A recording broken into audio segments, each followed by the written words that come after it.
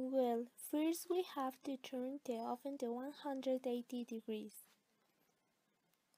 In a bowl we put flour, baking powder, sugar, chocolate, and mix.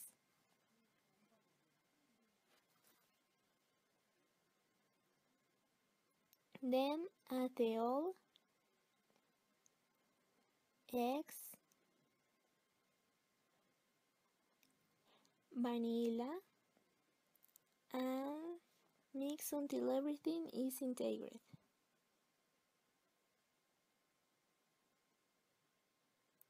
In a baking dish, put butter and add the, mi the mixture.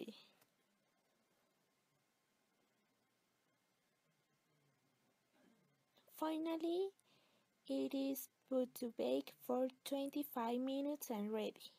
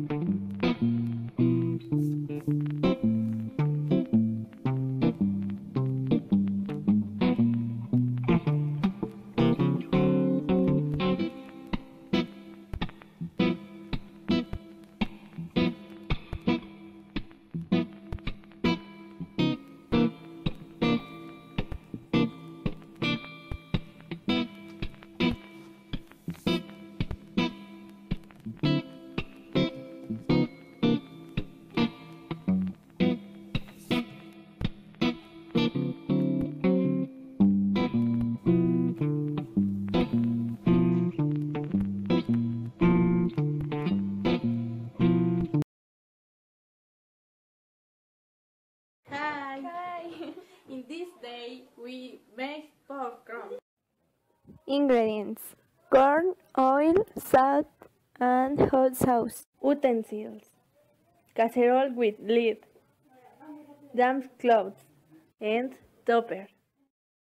First step boil the corn.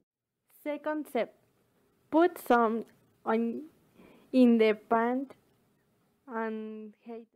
Third step then, when the oil is hot, add the corn and cover it so that it does not jump the oil and we don't know. Fourth step, we must stir the casserole with their rags so they do not burn. Fifth step, we know our popcorn is ready when it is no longer hard than it explodes. Sixth step, then we put out of the fire and let's cook for a while. Put the popcorn into the topper and finally add little salt.